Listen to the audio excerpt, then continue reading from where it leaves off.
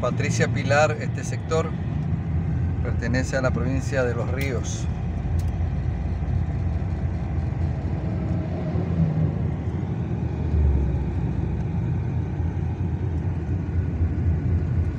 Estamos próximos a llegar a Buena Fe. Un perrito abandonado, callejero.